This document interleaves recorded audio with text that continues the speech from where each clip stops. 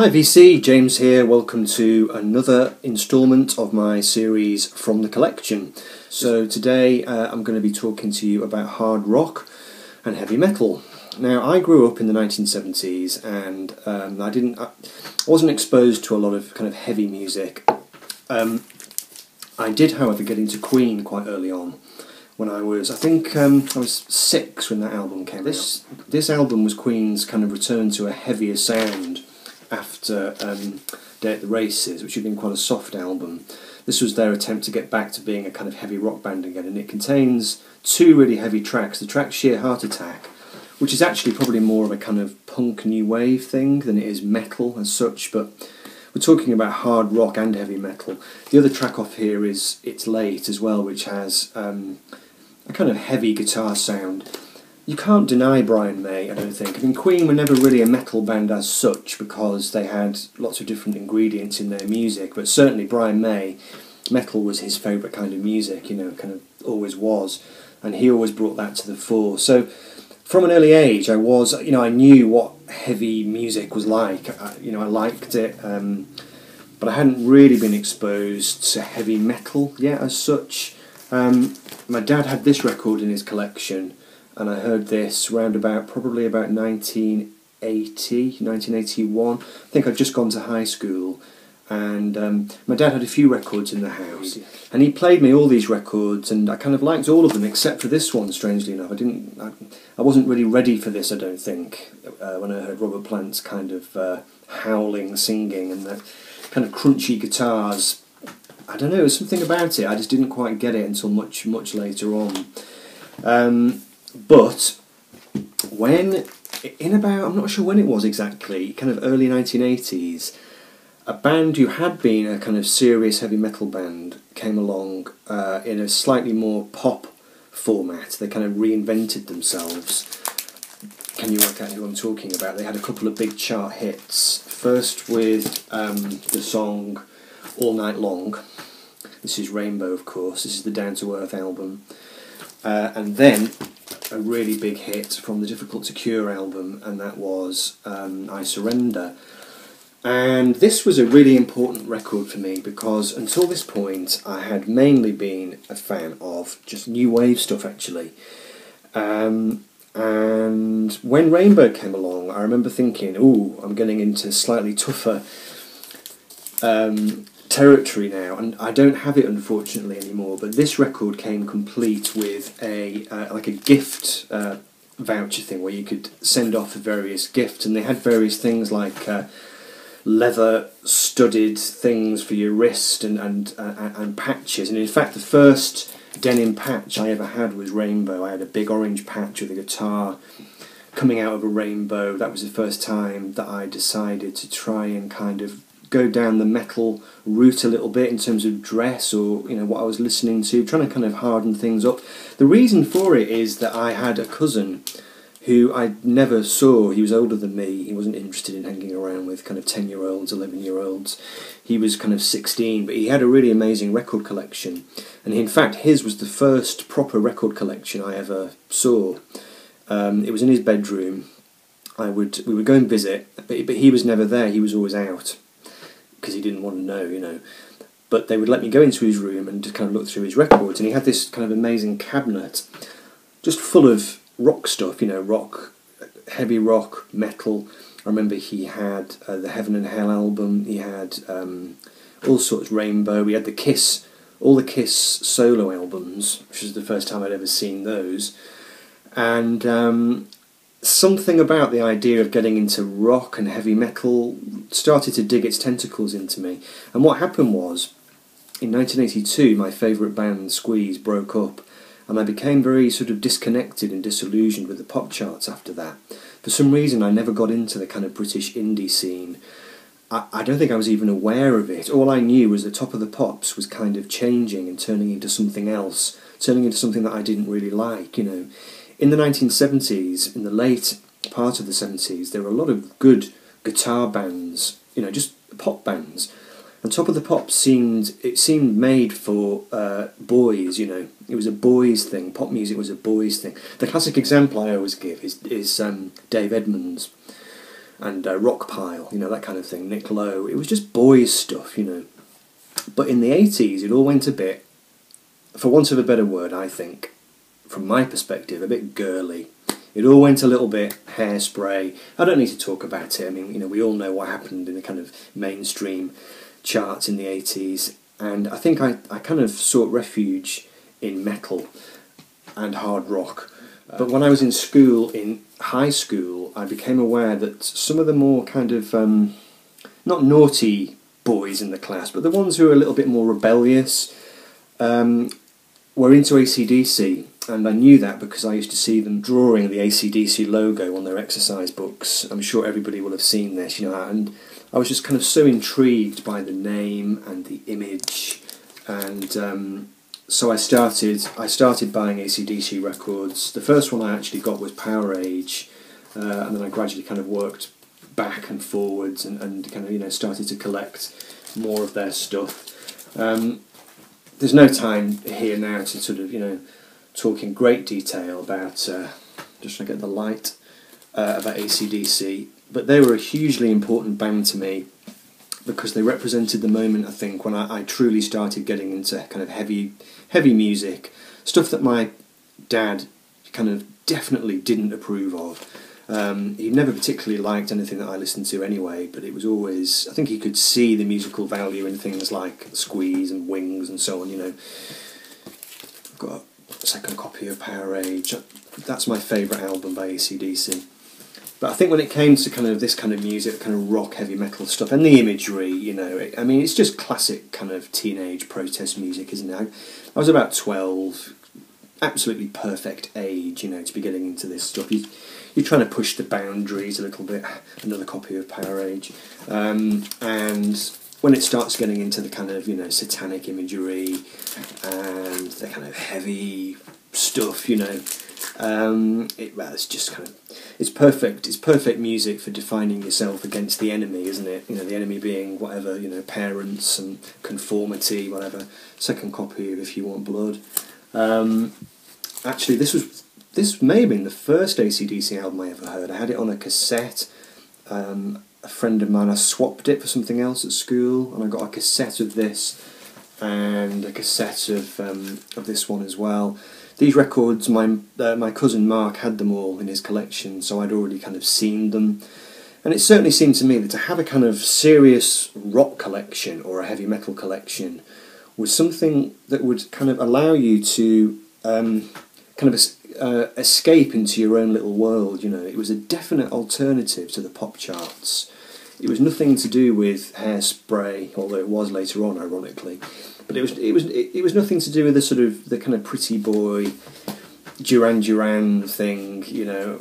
Uh, it was just something much more um, male, for want of a better word. That's the only way I can kind of describe it.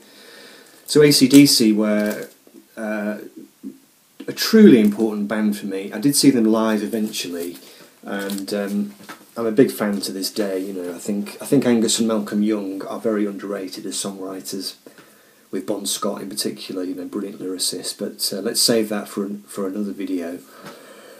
Um, so yeah, and of course, as well as as well as ACDC, the other band that I got hugely into was Kiss. Now, when I was in uh, the top year of primary school, so I would have been about eleven, we used to go on a school bus to go to the pool every week for a swim. And we had to join up with the other school in our village that we, uh, which had older boys. And they used to get onto the bus and one of the lads had that classic Gene Simmons um, blood spill patch on his denim jacket. And I was absolutely fascinated by this. And I got really into the kind of theatricality of Kiss um, and very quickly started to build up a collection uh, of their records um, that's Dressed to Kill. Uh, really is one of the greatest kind of packaged records of all time, isn't it? I saw Brett recently, uh, Vinyl Victim. I know actually he was talking about the, uh, he was talking about Alive Two, uh, which I'll show in a minute. Um, then, of course, we have the classic uh, Destroyer the wonderful Casablanca label, which always kind of helped to ensure that Kiss never really had any serious rock credibility, because of course it was a it was a disco label. There we have uh, Love Gun, uh, and then we have um, Kiss Alive 2. And I have I have told the story of this in a video elsewhere, but my I've got this distinct memory. This is the incredible uh, gatefold which Brett Vinyl Victim was talking about the other day. Surely one of the greatest all-time gatefold pictures. But my grandmother, I remember her saying to my parents, "Oh, don't worry, he'll grow out of Kiss. You know, it, it's just a passing phase." And I distinctly remember saying it was Boxing Day and we were in her house, and I just said, "I will never grow out of Kiss. I will always be into Kiss." And um, it's perfectly true. I mean, I don't listen to them that much anymore, uh, but the music is in the blood. You know, Alive Two Dynasty, not really a metal record. I talk about this record in my Sharp Left Turns uh, video if you're interested. I made a video a while ago called Left Turn Albums, and I talk about and I talked about that one. That was when Kiss went a little bit disco. Then we have the solo albums, which, uh, like I say, they were in my cousin Mark's collection. Aces, probably my favourite one. I'm sorry if the light is not best in here today, but I'm just doing my best to show them. I don't want to take them out of the things because it just makes it go on too long. Peter Criss.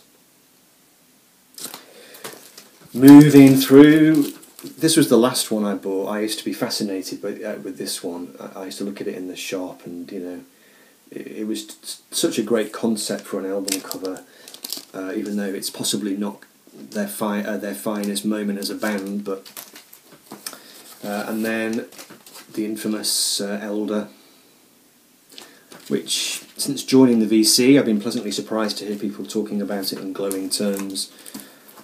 I've gone slightly out of order, have I? No, I haven't.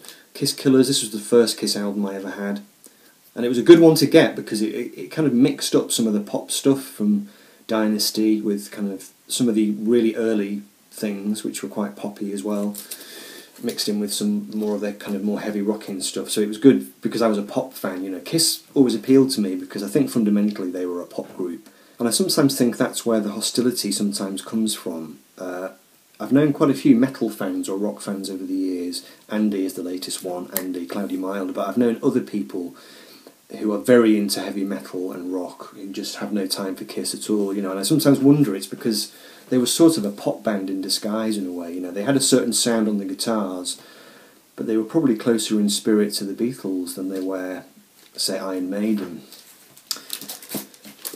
One of the greatest album covers of all time. I think Brett said that as well. Creatures of the Night, which was their return to form album, really. Used to have uh, Animalize, Asylum, and Lick It Up, and they've disappeared. I don't know where they are. So uh, Crazy Nights uh, is the last one from the collection there, which was again their attempt to go a bit more kind of in the kind of pop direction, the kind of Desmond Child ballads and so on. So there we go, ACDC and Kiss. So what's left? Well, when I was 16, I became good friends with a guy at Sixth Form College, and he was really seriously into metal and rock and um, this really, really impressed me. I was 16, the pop charts were still a complete no go area. I think Rick Astley had just appeared as if from nowhere. Bros had appeared from nowhere. The kind of era of Stock Aitken and Waterman had started. All due respect to people who like that kind of music, uh, but it wasn't my kind of thing. And this friend of mine, Mark, he was really heavily into rock stuff, you know, and his his hero was. And when I was 16, I got massively into David Lee Roth and this album. In fact, for about three or four years, I was into this. I remember I passed my driving test, and I used to drive around blasting this all the time. I had a little green and white Citroen 2CV with a retractable roof, and you pull the roof back and drive around blasting uh, knuckle bones and just like Paradise and you know the bottom line. Not really a metal album. It's more of a kind of I don't know what you how you describe this album. It's almost a bit sort of fusiony. You know, it, it borrows so many different kind of genres of music. Um, and, but it's just a fun album.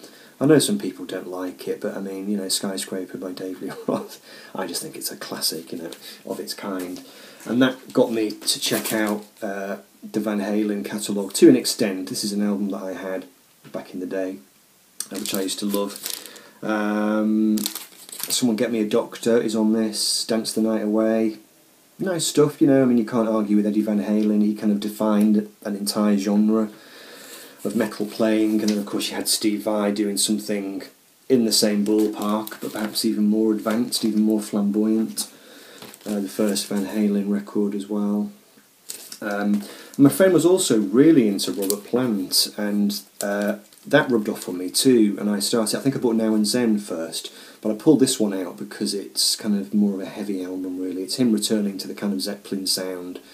Um, so that helped me get back into well it, it, kind of helped me understand that zeppelin record that i hadn't understood when i was 10 you know i think it's always interesting the way that cer- certain kinds of music make sense at certain times you know you can be exposed to a certain kind of music and not get it and then a few years later you can hear something else and then it kind of fits together a bit better you know this album as well everybody will know this one White whitesnake 87 with a fantastic um, John Sykes on guitar, blistering guitar work on tracks such as Still of the Night and uh, Give Me All Your Love.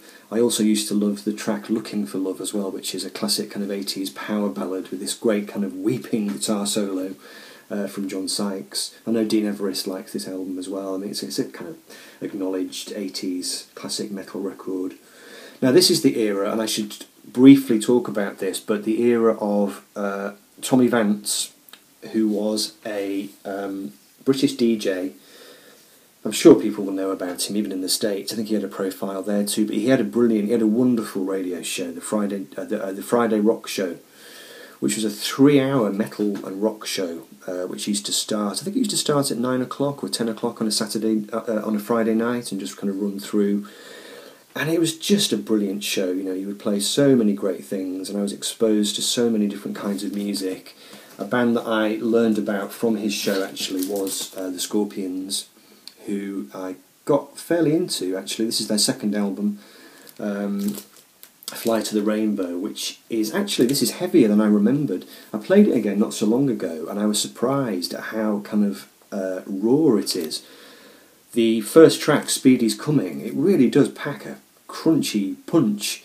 Um, and I heard I heard this band along with countless others on the on the Tommy Vance show, and um, it's impossible to describe. This is the Scorpions again. It's impossible really to describe the atmosphere that that show had. If you if you know the show, you'll know what I'm talking about. There used to be a slot in the middle of it called "Lie Back and Enjoy It," where he would ask somebody to uh, you know, send in an idea for three tracks, and you would play the three tracks back to back, and it was lie back and enjoy it. And you, just used to hear so much fine stuff on that show. And he was a classic kind of, you know, rock jock. He had a big, deep voice, and he was all kind of like the Friday rock show. Um, and when you're 16, 17, and you're sort of hiding under your duvet because you're too scared to go and talk to any girls, you know, as I was, it um, it was a great it was a great place to go, you know that's what rock and metal was for me at that age. It was a, it was a, a, a place that you could retire to or retreat to. It was it, its own little world, and I think I think to an extent that's largely still the appeal of it for a, a lot of people. You know, it's a kind of self-contained world, and often you can you know you have the sort of the fantasy imagery and the mythical stuff going on. I mean, a classic example would be that, that kind of thing, you know, Helloween, Keeper of the Seven Keys, parts one and two, uh, which I've bought since joining the VC. And uh, I think I'll wrap up the video by talking about that. Just before I joined the VC, I'd started to get a little bit back into metal and hard rock again because when I got to the age of about sort of 18, 19, I basically lost interest in it. I used to continue reading Kerrang, but I think what happened was I got into uh, the kind of late 80s, early 90s kind of indie dance thing Manchester happened, obviously, you know, and I became interested more, kind of more interested in the kind of non non metal music that was happening. I also got very into the Beatles as well, and that kind of took me off in a completely different direction, really. and I kind of lost touch with metal. I remember I didn't like Guns N' Roses. Um, I didn't. There was something about them that didn't appeal to me, and that kind of was the line in the sand. And that's when I kind of lost touch with metal uh, and kind of heavy rock music. But about a year ago, for some reason, just out of nowhere, I think I just decided that I'd like to start listening to kind of heavy stuff again. And a band that I wanted to check out that I'd never checked out before, uh, really, was uh, Slayer. So before I joined the VC, I'd already made these purchases. Um, God Hates Us All, which is an absolutely ferocious album. Uh, South of Heaven. And I got into like blasting these in the car. I just found it good therapy, you know, when you're kind of working and you, you know you can the stresses of family life. Once again, it's that kind of escapist quality which uh, kind of heavy music can often have. Oh, and that's um, System of the Down as well. I bought those before joining the VC, and since joining the VC, thanks to channels such as uh, Andy, Cloudy Milder, I've kind of got into some stuff which I would not otherwise have got into. I really love Opeth. I think they're a fantastic group. I mean, they they just combine everything that I love about music. You know, they've got the progressive side, the melodic side, the heavy side, the light side. You know, uh, that's their album Damnation, absolutely brilliant. Uh, Metallica Ride the Lightning, which is a great album, I love that. Motorhead, Ace of Spades, I've, I've had that for years. Got this one uh, to thank Andy for, something I would never have even known about. This is the album um, Forced Entry by Ram, which strongly reminds me of certain kind of 80s things, you know. So yeah, these are some things that I've had uh, from various people since joining the VC. Uh, we have Twisted Sister, Stay Hungry, that was from John Bellamy. Uh, we've had, oh no, actually, I bought this myself. I bought this one, uh, Live After Death. Uh, we have Number of the Beast. This was a fine gift uh, from my good VC friend Dean Everest, which I, I, I, got it on CD already, but Dean was kind enough to send me uh, a vinyl copy, um, and also uh, this one was sent to me by John Bellamy, Screaming Vengeance by Judas Priest. There are some others as well, but I'm saving them because there's a VCLT video that I need to make.